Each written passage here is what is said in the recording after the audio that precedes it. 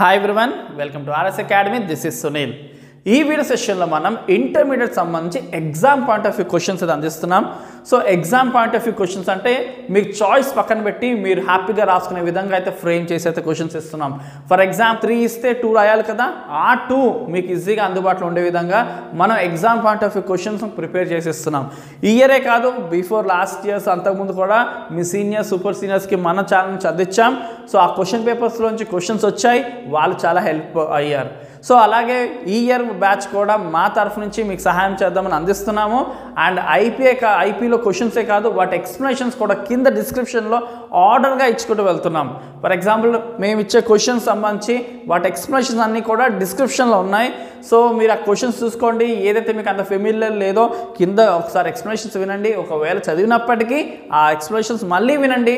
దాంతో మీకు ఏంటంటే ఎక్కువగా ఆ టాపిక్ మీద ఈజీగా చదివే విధంగా ఉంటాయి. అండ్ ఎలా రాయాలి ఎగ్జామ్ ఎలా రాస్తే మీకు ఈజీగా పాస్ అవుతారు? ఎంత లెంత్ ఉండాలి? ఏ టైమింగ్ని ఎలా మెయింటైన్ చేయాలి? ఇలాగ అన్ని పాయింట్స్ కూడా డిస్కస్ చేస్తూ మీకు చెప్తున్నాం కాబట్టి ఖచ్చితంగా సబ్స్క్రైబ్ చేసుకోండి. ఎక్స్ప్లెనేషన్ మిస్ అవ్వకండి. అండ్ మీ ఫ్రెండ్స్ అండ్ రిలేషన్స్లో ఎవరికైతే నెసెసిటీ ఉందో వాళ్ళకు కూడా షేర్ చేయండి కామర్స్ సెకండ్ ఇయర్ సంబంధించి ఇంపార్టెంట్ క్వశ్చన్స్ చూద్దాం. Long short and very short సంబంధించి. So first question define banking and explain the functions of banking so banking సంబంధించి మీరు ఆ చార్ట్ వేయగలిగితే మెయిన్గా ఆ తర్వాత దాన్ని కొంచెం ఎక్స్ప్లెయిన్ చేసిన సరిపోతుంది. లైక్ ఫంక్షన్స్ ఆఫ్ బ్యాంక్ అని పెట్టి primary function secondary function and ప్రైమరీలో accepting deposits and granting advances సెకండరీలో agency functions and utility functions and saving deposits fixed deposits and current deposits and recurring deposits అన్నీ కూడా accepting deposits కింద వస్తుందని. And granting అడ్వాన్సెస్లో overdraft cash credit and loans discounting of bills and అలాగే agency ఫంక్షన్స్లో transfer of funds and periodic payments and collection of cheques ఇలాంటి portfolio management ఇలాంటివన్నీ కూడా మీరు ఫస్ట్ మీరు జస్ట్ ఆ చార్ట్ ఉంటుంది కదా ఆ చార్ట్ ఖచ్చితంగా రిప్రజెంట్ చేయడానికి ట్రై చేయండి. ఆ తర్వాత ఒక్కో దానికి సంబంధించి ఒక టూ టూ త్రీ పాయింట్స్ రాస్తే ఇట్స్ ఎనఫ్. మీకు ఎక్సలెంట్ రిప్రజెంటేషన్ అనుకుని ఫుల్ మార్క్స్ వస్తాయి. సో అంటే మీకు అన్నీ తెలుసు అన్న విషయం చార్ట్లో మీకు ఈజీగా కన్వే అవ్వగలుగుతుంది కాబట్టి అది వెయ్యండి. And next what are the principles of management? So management యొక్క ప్రిన్సిపల్స్ ఏంటి? సో చాలా సింపుల్ జనరల్ ఇది. సో మీరు మామూలుగా చూసుకున్న మీకు ఈజీగా అండర్స్టాండ్ అవ్వచ్చు మీ ఓన్ వర్డ్స్ కూడా రాసుకోవచ్చు. కానీ ఒక్క విషయం కామర్స్ లాంగ్వేజ్ ఏదైతే ఉంటుందో ఆ వర్డ్స్ని వాడండి. జనరల్ ఇంగ్లీష్ వాడితే అప్పుడు మీకు మార్క్స్ అనేది రావు. సో సాధారణంగా స్టూడెంట్స్ అందరూ ఏం చేస్తారంటే జనరల్ ఇంగ్లీష్ వాడేస్తారు. సో అక్కడ ఏమైపోతుందంటే వీళ్ళు ఓన్గా రాశారు లేదా చదవకుండా ఏదో రాశారు అన్నట్టుగా కరెక్షన్ చేసే వాళ్ళు ఫీల్ అయ్యి మార్క్స్ రావు. నెక్స్ట్ క్వశ్చన్ చూసుకుంటే what are the difference between money market and capital market so money market and capital మార్కెట్కున్న differences ఏంటో రాయండి. Next what is SEBI and what are its functions and powers so functions ఏంటి? Educate investors and controls the working of stock exchanges and register and regulate the working of intermediates ఇలాగా చాలా ఉన్నాయి. So SEBI ఫంక్షన్స్ని ఈజీగా చదువుకోవచ్చు. So SEBI అంటే first రాసిన తర్వాత ఆ తర్వాత మీరు ఈ ఫంక్షన్స్ని ఎక్స్ప్లెయిన్ చేయాలి. అండ్ అలాగే సెబీలో ఎవరెవరు ఉంటారు? మెంబర్స్ చాలా సింపుల్గా ఉంటుంది అది. So chairman and two members and one member from the RBI and five members are nominated by government of India. ఇలాగా సింపుల్గా ఉండే మెంబర్స్ కూడా రాసుకోవచ్చు. ఇంకొంచెం ఈజీగా లెంత్ కనిపిస్తుంది. అండ్ వీటన్నిటి ఎక్స్ప్లెనేషన్ సంబంధించి వీడియోస్ ఉన్నాయి. కింద డిస్క్రిప్షన్లో ఖచ్చితంగా వాచ్ చేయండి. అవి మీకు చాలా హెల్ప్ అవుతాయి. And next what is stock exchange explains fee functions so stock exchange అంటే ఏంటి? అండ్ దాని ఫంక్షన్స్ ఏంటో క్లియర్గా రాయండి. సో మనకి ఆల్రెడీ uh, ఈ SEBI and stock exchange words అన్నీ కూడా సిమిలర్గా ఉంటాయి. సో స్టాక్ ఎక్స్చేంజ్ ఏం చేస్తుందంటే ప్రొవైడ్స్ ఇన్ఫ్రాస్ట్రక్చర్ ఫర్ ట్రేడింగ్ అలాగే provides information regarding prices so ఇలాగా సింపుల్గా ఉన్న సైటింగ్స్ అన్ని పెట్టుకుని మీరు uh, దాన్ని ఎంతవరకు రాయగలిగితే ఒక టూ టూ పాయింట్స్ రాస్తే సరిపోద్ది. యాక్సెస్ బ్యారోమీటర్ ఇలాంటివన్నీ కూడా మీరు రాసుకోవచ్చు. సో టూ టూ పాయింట్స్ ఒక్కొక్క అన్ని సైడింగ్స్ మెన్షన్ చేయండి.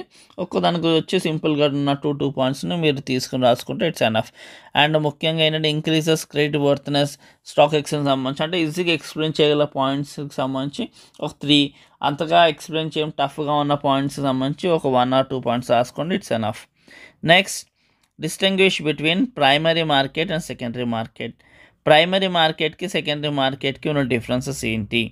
సో ఇందాక ఆల్రెడీ ఒక డిఫరెన్స్ చూసాం కదా.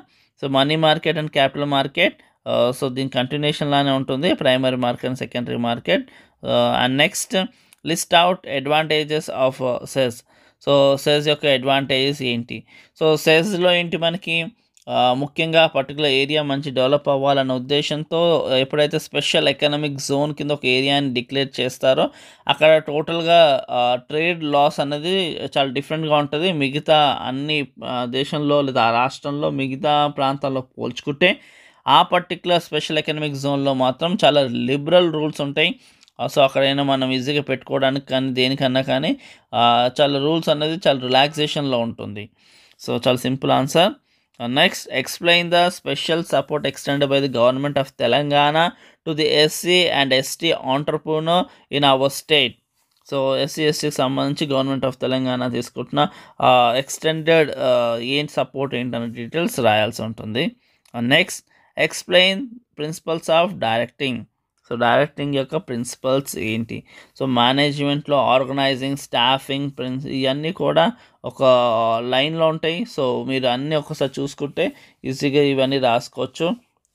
నెక్స్ట్ చూసుకుంటే what are the characteristics of entrepreneur and next చూసుకుంటే కనుక state the features of insurance so insurance features అనొచ్చు క్యారెక్టరిస్టిక్స్ అనొచ్చు. సో అవి ఈజీగా ఉంటే రాసుకోవచ్చు. అలాగే ప్రిన్సిపల్స్ కూడా అడిగే ఛాన్స్ ఉంటుంది. Like utmost good faith and instead interest and principle of indemnity and principle of subrogation and contribution and mitigation of loss and cause of proxima so ఇవి ప్రిన్సిపల్స్ కింద వస్తాయి. అండ్ ఫీచర్స్ uh, ఇవి రెండు కూడా చూసుకోండి. Uh, మీకు చాలా help అవుతుంది. Next explain the powers and functions of IRDA so IRDA అంటే ఏంటి? అండ్ అలాగే దాని పవర్స్ ఫంక్షన్స్ రాయాల్సి ఉంటుంది. చాలా ఇంపార్టెంట్ ఆన్సర్ సో ఐఆర్డిఏ అంటే insurance regulatory and development authority so దీని పవర్స్ ఫంక్షన్స్ ఏంటి? మొత్తం ఇన్సూరెన్స్ సంబంధించి ఇన్సూరెన్స్ ఇండస్ట్రీ సంబంధించి ఉంటుంది. సో ఆ పాయింట్స్ కూడా ఈజీగా ఉంటుంది. It has general supervisory power of insurance industry అని. And it has administrative power to appoint the staff required for the conduct of its business అంటే ఇన్సూరెన్స్ బిజినెస్ సంబంధించి. అంటే ఇన్సూరెన్స్ సంబంధించి ఆ, ఆ ఇండస్ట్రీకి సంబంధించి స్టాఫింగ్ కానీ అంతా కూడా ఎవరు అపాయింట్ చేస్తారు ఐఆర్డిఏ చూసుకుంటుంది. అలాగే ఇన్సూరెన్స్ సంబంధించి ఫీజెస్ ఉండొచ్చు అలాగే ఛార్జెస్ ఉండొచ్చు ట్యాక్సెస్ ఉండొచ్చు అన్నీ కూడా డిసైడ్ చేసేది ఎవరంటే ఐఆర్డిఏనే. సో అది అలా సింపుల్గా మీరు రాసుకోవచ్చు. సో ఒకసారి క్లియర్గా చూసుకుంటే. Next distinguish between entrepreneur and entrepreneurship so వీటి రెండిట్లకి ఒక డిఫరెన్స్ ఏంటని రాయమంటున్నారు. సో అట్లీస్ట్ ఒక సిక్స్ పాయింట్స్ మినిమంగా రాస్తే it's enough six to eight points full marks రావడానికి. So next what are the steps in the process of organizing so ఆర్గనైజింగ్లో ఉన్న స్టెప్స్ ఏంటి? Next explain post cap so దీని full form first మనకి uh, రాసుకోవాల్సి ఉంటుంది. Like planning organizing staffing directing and coordinating reporting and budgeting so ఆ తర్వాత ఇది ఏం చేస్తుంది? ఇది ఎవరు చెప్పారు? ఫస్ట్ ఏంటి? అన్న డీటెయిల్స్తో మొత్తం రాసుకోవచ్చు. సింపుల్గా ఉంటుంది కాన్సెప్ట్ సో ఆల్రెడీ పైన మనము స్టాఫింగ్ ప్రిన్సిపల్స్ అవి చూసాం కదా. సో అవి ఇక్కడ వాడుకోవచ్చు. సో ఆ నాలెడ్జ్ని సో ఇది మొత్తం లాంగ్స్ అండ్ షార్ట్స్ సంబంధించి. నెక్స్ట్ వెరీ షార్ట్స్ చూసుకుంటే కనుక bill of lading and next exchange rate and next adaptive entrepreneur next bonded warehouse next hawkers and peddlers so మీరు వెరీ షార్ట్స్ అన్నీ కూడా ఒక పేజ్లో రాసుకోండి. లేదా ఒక బుక్లో రాసుకోండి. లైక్ ఎగ్జామ్ ముందు ఇప్పుడు చదువుకుని ఎగ్జామ్ ముందు అది రివైజ్ చేసుకుంటే ఈజీగా మీరు అన్నీ కూడా ఫింగర్ టిప్స్లో ఉంటాయి. అట్లీస్ట్ ఒక త్రీ టు ఫోర్ లైన్స్ అనేది మీరు మెయింటైన్ చేయాల్సి ఉంటుంది. మీకు ఫుల్ మార్క్స్ రావాలి అంటే.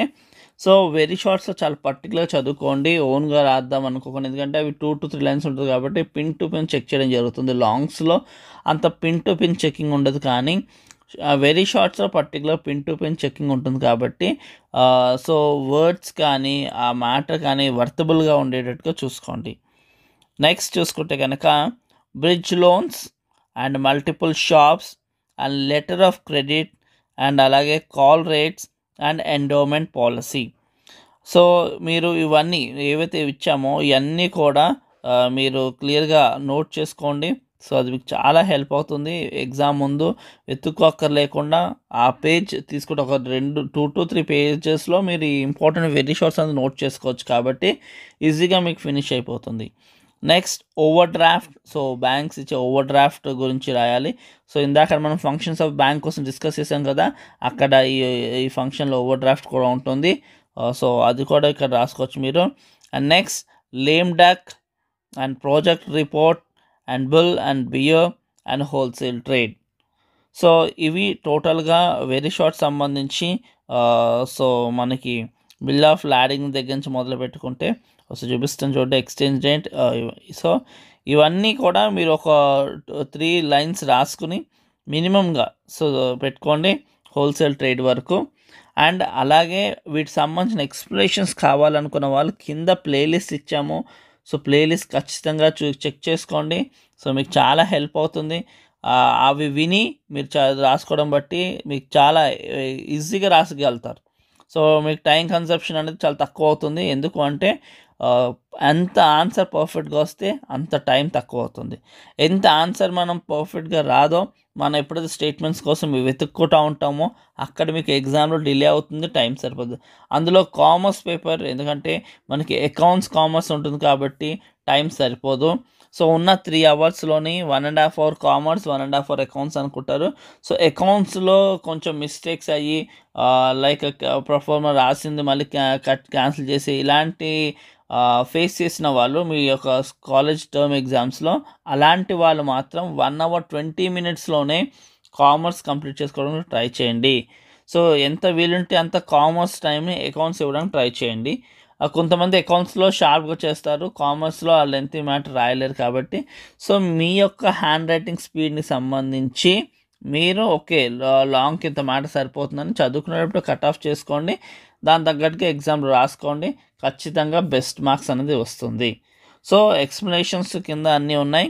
సో ఇంకేమైనా పర్టికులర్ ఎక్స్ప్లెనేషన్స్ కావాలంటే మీరు కామెంట్ సెక్షన్లో మెన్షన్ చేస్తే కనుక ఖచ్చితంగా ఆ టాపిక్ మీకు అయితే అందించడానికి ట్రై చేస్తాం. సో అండ్ మీ ఫ్రెండ్స్ అండ్ రిలేటివ్స్లో ఎవరైతే ఉన్నారో వాళ్ళకు కూడా షేర్ చేయండి. Uh, ఎవరికైతే నెసెసిటీ ఉందో. అండ్ పర్టికులర్గా ప్లేలిస్ట్లు కూడా ఉన్నాయి కాబట్టి అవి షేర్ చేయండి. వాళ్ళకు కూడా మీరు హెల్ప్ చేస్తే వాళ్ళు అవుతారు. Thank you for watching do share subscribe our channel